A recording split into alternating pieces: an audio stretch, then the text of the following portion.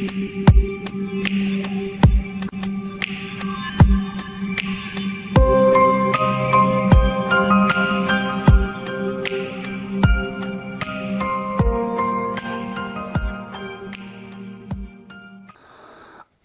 wunderschönen, da bin ich mal wieder, euer Odin und ich begrüße euch zu einem neuen Unboxing. Ich habe gestern ein Paket gekriegt, ich habe es schon ausgepackt, also nicht richtig ausgepackt, nur das ausgepackt. Und äh, dazu machen wir jetzt ein Unboxing, Hardware, Hardware-Check äh, mache ich heute nicht, weil es Sonntag, das mache ich dann morgen. Montag oder Dienstag, je nachdem, wie ich es mit der Zeit schaffe, weil ich noch ein paar Termine habe. Aber das Unboxing wollte ich unbedingt schon vorher rausklatschen. Ähm, und wie gesagt, ich schließe das ja mit euch das erste Mal dann an. Ich werde das jetzt auch nicht anschließen oder irgendwas dergleichen. Ähm, das machen wir dann alles schön zusammen. Und hier könnt ihr mal sehen, Un Uncore. So sieht es aus. Das ist der lange versprochene SAT-Receiver auf Android-Basis. Ja, und da seht ihr auch, was er alles hat. Der hat Netflix, der hat Kodi, YouTube, äh, Google Play hat er auch, das ist richtig geil, Amazon, Spotify, Tumble, Tumble, was ist das da? Tunnel. Ach, das ist diese Radio-App, die habe ich mir jetzt vor kurzem auch bei, bei meiner Fire TV Box installiert. Die ist ganz gut. Facebook und Opera ist auch mit drauf. Hier auf der anderen Seite ist nochmal das gleiche. Und das ist eine Android 4K, also nicht Android Box an sich, sondern ein Android SAT Receiver 4K. So, ich lese euch jetzt mal so ein paar Daten vor. Also hier ist Android 6.0 drauf. Das ist geil.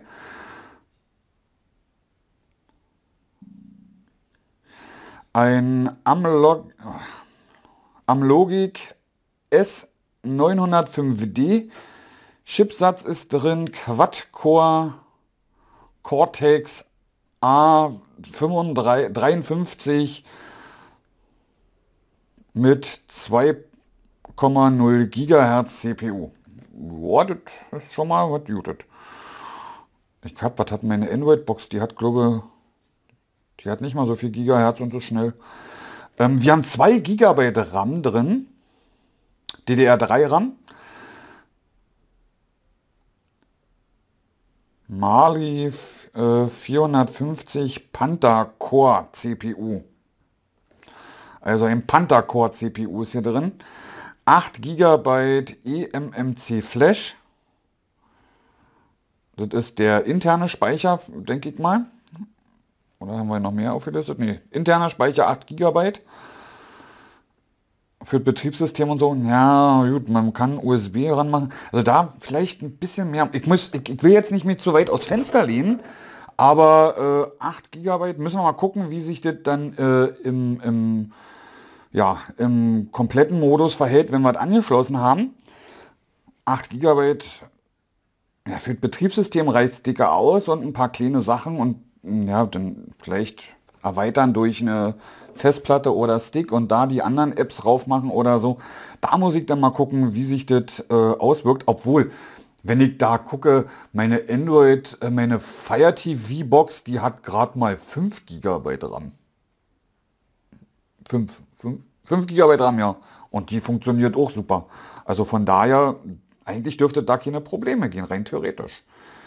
Äh, einmal DVBS und DVB-S2 Input, einmal HDMI 2.0 Input, 2.0. Das ist gut, das ist verdammt gut. Weil äh, 4K geht nicht unter HDMI 2.0. Und dann ein Micro SD ist mit bei. Also ein Anschluss Micro SD. Und zweimal USB 2.0 ist mit bei, also als Anschluss. Dann halt nochmal der Stromanschluss, DC 12 Volt, äh, Schrägstrich 1,5 Ampere. Äh, Wi-Fi hat er auch. Im 2 und im 5 Gigahertz. Alter, das ist doch geil. Im 2 und im 5,0 äh, Gigahertz. Das ist richtig geil. Äh, Bluetooth 4.0 Eternal 100 M, äh, Megapixel, die MP, Mbps Und jetzt kommen wir zu den Sachen, die er wiedergeben kann. Äh, MKV, was natürlich richtig geil ist, jeder weiß warum.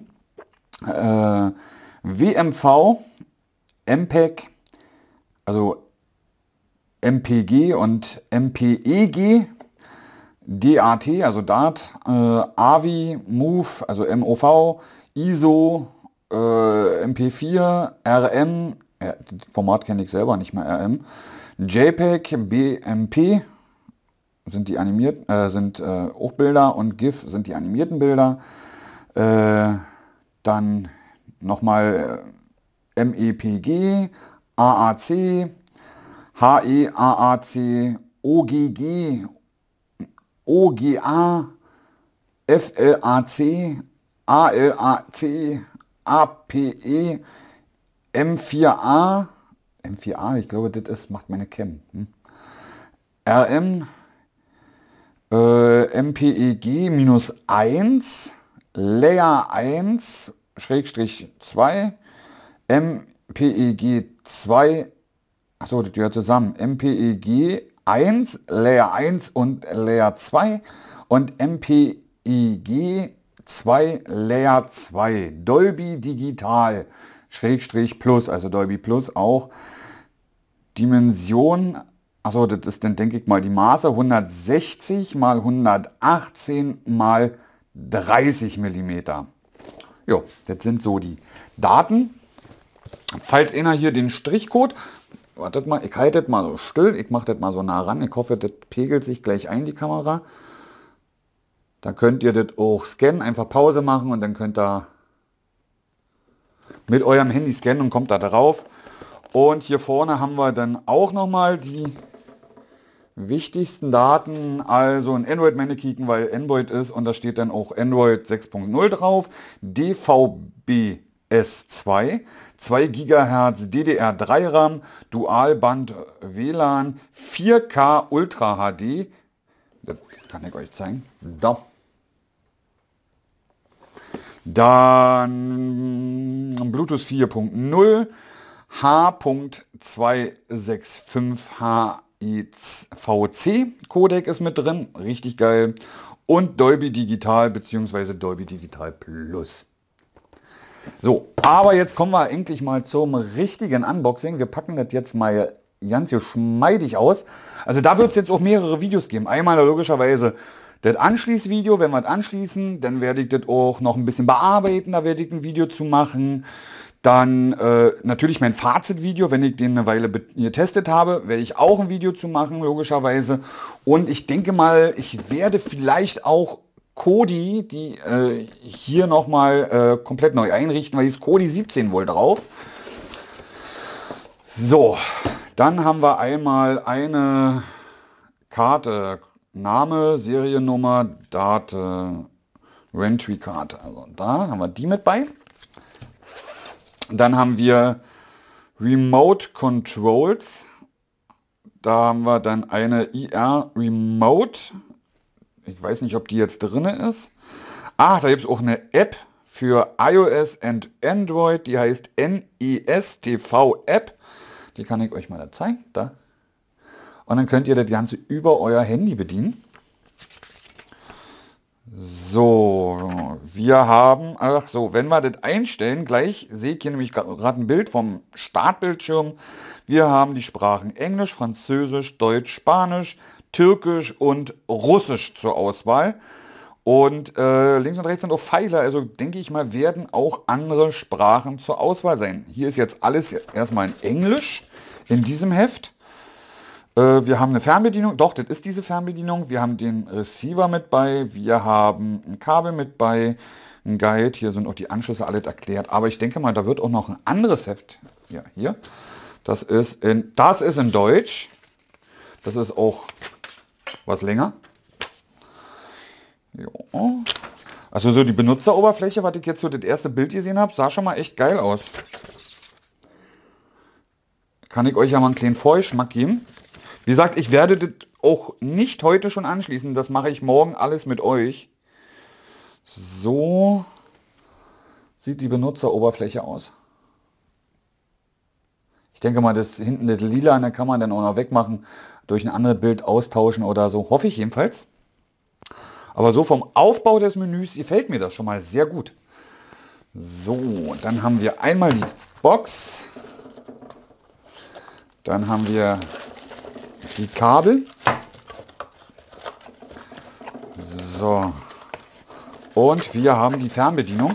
Und ich weiß vom Hersteller, wie gesagt, äh, ich habe sie zur Verfügung gestellt bekommen, um sie euch zu zeigen und um sie auch zu testen. Also für beides habe ich sie bekommen, äh, wie ich jetzt damit zufrieden bin. Ich darf auch meine ehrliche Meinung sagen. Also wie gesagt, ich, ist nicht gekauft oder so, meine ehrliche Meinung.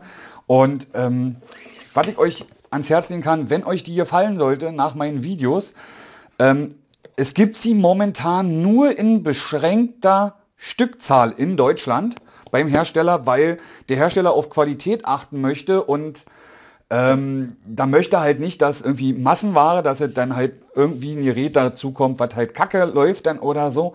Deswegen gibt es diese erstmal nur in beschränkter Stückzahl. So, Batterien sind nicht mit bei. Die Fernbedienung gefällt mir. Die gefällt mir. Also da können, also besser als bei den meisten Android-Boxen. Die ist schön groß, die liegt gut in der Hand. Wir haben hier in Haussymbol, wie wir es von Fire TV kennen. Wir haben links, rechts, oben, unten. Ja, die Zahlen sind gut zu erkennen. Audio, Play Store. Ach, wir haben so eine extra Taste für Play Store. Das ist geil. Da kommen wir denn die. Eine extra Taste für YouTube haben wir auch. Ich weiß nicht, seht ihr das vielleicht? Da YouTube und da ist der Play Store. Dann haben wir TV-App, Audio. Also Audio, denke ich mal, wird die Audio-Einstellung sein, dass wir da schnell hinkommen. TV wird die TV-Einstellung sein, dass wir die Grafik anstellen können. Und Apps, da kommen wir, also APP, äh, da werden wir, denke ich mal, zu den App, also unseren Apps kommen. Haben wir ein EPG, schön groß. Ein EPG-Knopf haben wir. Info, Schleife, zurück, Home. Ich denke mal, das wird äh, Menü sein. Dann haben wir hier Volume, Minus und Plus Page, Plus und Minus, das werden dann die Programme sein. Dann haben wir vor, zurück, spulen, vor und zurück machen. Dann haben wir Play, Pause, Stopp, Aufnahme. FAV könnte aber auch Favorit sein. Ja, das muss ich dann gucken. Und dann haben wir hier einen Mausknopf. Also ich denke mal, wenn wir den Mausknopf drücken, dann werden wir dann so eine kleine Maus angezeigt kriegen haben und äh, wie so bei den Android-Boxen. Und das ist der Aufnahmeknopf. Ich denke mal, da können wir den aufnehmen, wenn wir einen externen Speicher anschließen oder dass es die Favoritenknopf ist, weil da steht FAV. Und, ach nee, das ist bei F4. Das ist bei F4. F4 ist FAV. Äh, F3 ist Text, F2 ist nix, da steht nichts. F1 ist Find. Dann haben wir hier nochmal Rot, Grün, Gelb, Blau. Rot ist Subt.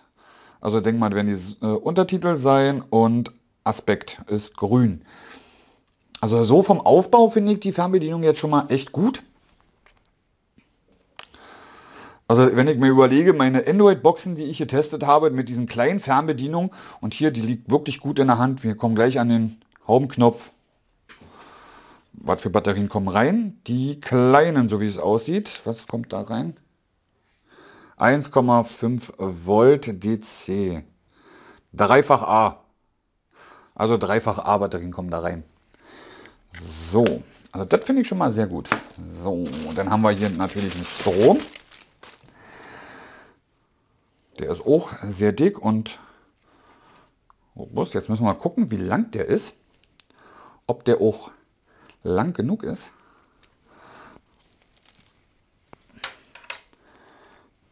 So, da, da, da, da.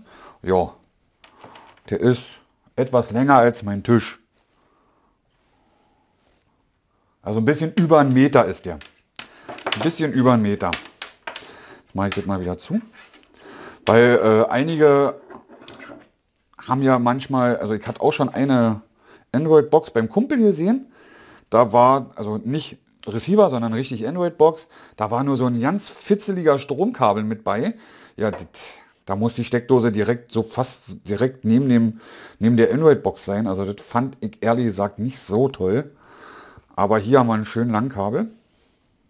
Dass wir das auch schön verstecken können, dass wir das halt in die Steckdose machen können und die Box vorne im Regal und dann halt schön den Kabel verstecken. Also jetzt kommen wir zur Box. Die ist kleiner als ich gedacht habe. Oh, mit Klavier. Oh, geil. Mit Klavierlack. Die ist wirklich kleiner als ich gedacht habe. Hier haben wir, ach, wir haben hier so einen CA. Hier können wir das CA-Modul reinmachen. So eine CA-Karte, seht ihr das? Also so ein CA für die Leute, die es nicht wissen, ist wie, ist wie so eine Telefonkarte. Also ist so eine Plastikkarte, sieht aus wie eine Telefonkarte für äh, was weiß ich, was gibt's da? Sky hat so eine Karten, äh, Freenet TV, um jetzt die äh, HD-Sender äh, äh, zu haben und was war noch? Ja, und dann normal, äh, dann die normalen, also Freenet TV ist ja für normal DBVT und für DBVS, also Satellit, gibt es ja diese HD-Karten von RTL. Ja, und die können wir denn da reinmachen. So, dann haben wir auf der, oh geil, auf der Unterseite haben wir sogar hier, seht ihr das? Metall, wir können praktisch die Box auch so an die Wand hängen, hinterm Fernsehen, neben Fernsehen. Das ist geil. Oder wenn euer Fernseher die Vorrichtung hat. Manche Fernseher haben ja die, die Vorrichtung, dass man hinten so, so kleine Schraub, Schräubchen drin schrauben kann. Und äh, da könntet ihr praktisch denn die Android-Box so reinhängen. Ja, und dann habt ihr praktisch äh, gehen hier unten gehen hier um die Kabel drin und dann hängt die hinten am Fernseher dran. Dann habt ihr sie nicht unten irgendwo stellen, dann habt ihr sie hinten am Fernseher dran. So. Auch hier schön viele Luftschlitze. Auch oben haben wir jetzt hier viele Luftschlitze und auch an der Seite. Ich mache die mal auf die andere Seite auch nochmal. Und das ist dafür da, äh, dass hier kein Lüfter drin muss, dass die praktisch indirekt, also dass die Bauteile, die hier drin sind, indirekt belüftet werden. Also ihre praktisch die Luft hier durch die Löcher ziehen, sonst hätte ein Lüfter drin gemusst. Und jeder, der einen PC hat, äh, wie es das Lüfter auch mal laut sein können. Also ich kann euch da von Satellitenreceivern erzählen, von Freunden, die ich kenne, die keine indirekte, also ich habe immer bei meinen darauf geachtet, dass sie eine indirekte Belüftung haben. Ich kenne aber auch welche halt, die haben keine indirekte Belüftung, die haben dann hinten so einen Lüfter dran, so einen großen. Ähm, ja. Ja kann ich auch leider nicht, negat äh, nicht äh, Positives dazu sagen. Stellt euch die PlayStation 4 vor, das erste Modell, also die Laute. Und dann müsst ihr euch vorstellen, dass oben die Luftschlitze verstopft sind. Dann kommt da so in etwa an den Sound dran, was diese Receiver von sich geben. Und was ich natürlich geil finde, dieses, dieses Spiel mit dem Klavierlack. Hier oben Klavierlack, geht dann hier durch, hier auch Klavierlack, hier sind die Lüftungen. Ja. Denn hier vorne auch schön Klavierlack. Da steht nochmal die Firma, da ist ein USB. Wie gesagt, hier haben wir die SD-Karte. Auf der Seite haben wir auch indirekte Belüftung. Und auf der Rückseite haben wir, ich fange mal hier ganz an, hier haben wir den Stromanschluss. Hier haben wir nochmal einen USB-Anschluss. Hier haben wir eine Mikro. Ach Quatsch, das ist die Micro SD. Dann hat, den, hat die wohl intern mehr Speicher und kann durch eine Micro SD EMCC Flash 8 GB. Ah, dann kann die durch eine 8 GB Flash noch erweitert werden. Ach so läuft das. Na, dann müssen wir mal gucken, was die äh, intern für Arbeitsspeicher, ach Quatsch, äh, äh, äh RAM-Speicher hat und dann können wir das hier praktisch erweitern. Und ich habe noch eine 8 GB da, das passt, die kann ich dann rinklatschen. So, dann haben wir hier HDMI 2.0, da ist der LAN-Anschluss und hier ist der Anschluss zum Randschrauben vom, ja, von dem, vom Satelliten, also praktisch was aus der Dose kommt. Ist echt kleiner als ich gedacht habe. Ich weiß auch nicht, ob jetzt hier vorne noch irgendwo was angezeigt wird. Da lassen wir uns dann einfach mal überraschen, würde ich sagen. Ich bin echt so schon vom optischen finde ich sie gut. Passt super zu meinem Fire TV daneben. Ja, nimmt nicht viel Platz weg. Ich packe das jetzt erstmal alles wieder ein dass ich das dann morgen, oder ich muss gucken, wie ich es schaffe, zeitlich, mit euch alle, äh, die Tüten lasse ich weg, äh, muss ich gucken, wie ich zeitlich schaffe, dass ich das dann morgen das Video mache. Bin da nämlich megamäßig gespannt drauf, wie die sein wird jetzt. Achso, muss ich hier oben machen. Ah. So, zack. Und die Kabel rein. Weil ich, ich stehe total auf Android. Also da könnt ihr mich für angucken. Ich stehe auf Android. Android ist ein geiles Betriebssystem. Äh, ich bin davon begeistert, hat mich noch nicht im Stich gelassen. Und äh, ich warte schon drauf, dass es die ersten Android-PCs geben wird. Wenn da natürlich, wenn sie da natürlich richtig machen und Android-PCs rausbringen, beziehungsweise Laptops, auch große, womit ich dann arbeiten kann. Und da dann halt auch vernünftig Arbeit speichern, richtig geilen, knackigen Prozessor, weil Android frisst nicht viel. Wenn man da zum Beispiel einen i7-Prozessor als Beispiel rinklatscht, von der Leistung her, das Ding schnuckelt wie Sau. Richtig fetten Arbeitsspeicher rein und ähm, nicht so viele, nicht so viele äh, Standardprogramme, die installiert sind, weil Android kommt manchmal mit vielen Sachen daher. Wenn wir auch gucken, was hier standardmäßig drauf ist, was ein bisschen nervt. Kennt jeder, der ein Android-Handy hat. Ähm, aber dann würde ich so ja beim PC auf Android umsteigen. Denke ich mal ganz stark. So, wenn das auch alles vernünftig läuft. Das werde ich jetzt hier hinlegen. Das werden wir uns dann morgen zu Gemüte tun. Ich hoffe, das Unboxing hat euch gefallen. Dann könnt ihr ja einen Daumen oben da lassen oder hier ist irgendwo der Abonnier-Button. Vielleicht lade ich das auch schon vorher hoch. Ich muss erstmal noch die Thumbnails dafür machen. Vielleicht lade ich das schon vorher hoch als kleinen, äh, äh, ja, als kleines Schmankerl für euch sozusagen. Also wenn ihr das jetzt gesehen habt und das andere erst einen Tag später oder zwei Tage später kommt, dann habe ich das vorher hochgeladen. So. Aber nichtsdestotrotz, ich verabschiede mich. Wie gesagt, wenn es euch gefallen hat, ein Daumen oben wäre nicht schlecht. Hier unten irgendwo ist der Abonnier-Button. Ich werde euch auch hier noch links, rechts äh, drei, vier Videos drin, nee, drei kann ich nur, drei Videos drin klatschen, die vielleicht für euch sehr interessant sind. Wir werden dazu richtig viele Videos machen. Also Hardware, ich wiederhole nochmal, Hardware machen wir. Wir machen Hardware-Check, wenn ich das äh, eine Weile getestet habe. Wir werden Kodi auf Herz und Nieren prüfen, werden da Kodi nochmal erweitern mit ein paar Erweiterungen. Wir werden die ganze Software von dem äh, Receiver werden wir auch noch ein bisschen erweitern. Da will ich noch nicht zu viel versprechen. Da werdet ihr äh, euren Spaß dran haben für die Leute, ähm, die meine Kodi-Videos gesehen haben, zum Beispiel One 24, 24, 15 und die anderen, wo man so Programme gucken kann, das braucht er denn sozusagen bei eurem Kodi denn nicht mehr, wenn ihr diese Box habt. Und einen Satelliten und, und natürlich eine Satellitenschüssel habt.